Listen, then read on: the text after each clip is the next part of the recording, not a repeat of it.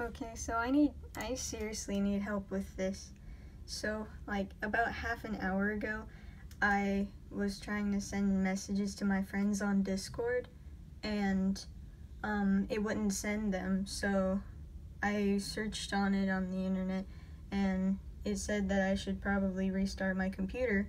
And since I hadn't updated it, I thought that that might be the problem.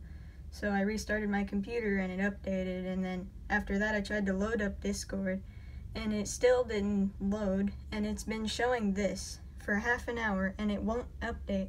I really don't know what I'm supposed to do.